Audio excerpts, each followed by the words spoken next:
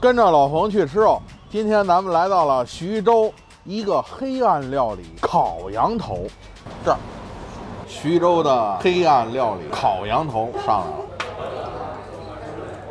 这个做的火候还是可以的啊。虽然说这样上来有点恐怖啊，但是味道还是不错的。这个烤羊头是先卤后烤的，它这烤羊头呢是把皮扒掉之后，实际它并没有太多的肉，它就是羊头里边的舌头、羊爪、羊眼，要么叫黑暗料理。但是吃起来呢，逃不了真香定律。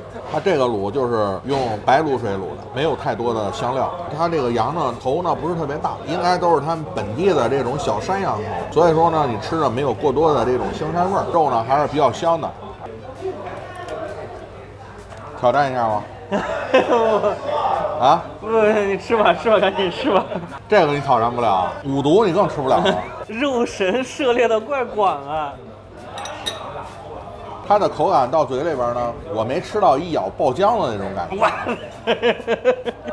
但是说呢，它卤的这个火候呢很软，油香劲儿是有的。这个羊眼的营养要超过所有的肉，吃羊头不吃羊眼，白瞎了。你还非得掏干净，我感觉你跟抠在我的眼珠子上没啥区别。谢谢呀呀呀呀！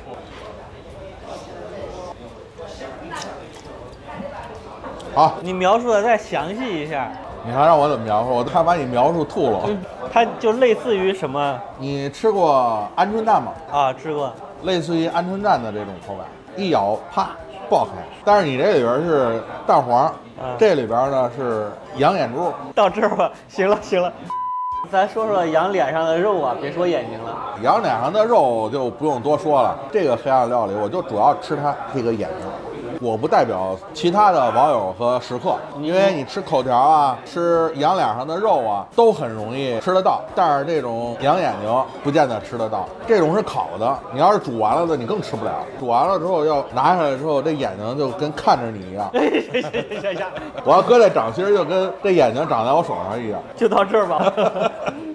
这个之所以称为黑暗料理，不是适合所有人，适合这种爱吃肉又有猎奇心理的人。你要是不喜欢，您可以吃烤羊排或者烤羊肉。烤羊头呢，跟烤羊排呢是有区别的地儿。烤羊头你吃的呢，表皮呢有一点酥脆，里边肉是嫩的。虽然说看着不大，但是里边肉还是挺足实的。这个就是吃一个新鲜奇特。我为什么愿意到这些犄角旮旯去找这些小馆子？我从这儿我能看到人家老板做生意很用心，他用一道烤羊头能带来很多其他的客流。然后他这儿有这个柴火鸡，还有大旗鱼，还有徐州的一些土菜。这个我判断老板做的呢就是一个引流品。这一个羊头才卖五十八块钱，挣不了几个钱儿。